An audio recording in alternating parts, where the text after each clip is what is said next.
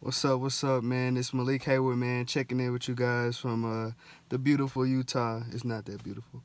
But uh, I was asked to um, make a response video for the uh, M2M training course that I just finished uh, a few weeks ago. And hey, man, my boy Quinn Smith, uh, one of the founders of M2M, he really he really helped me out and put me on him and uh, Michael with the just taught me so much stuff with the stock market. I, lately, I've been feeling like um like I'm just not doing what I'm supposed to do. I'm not where I should be.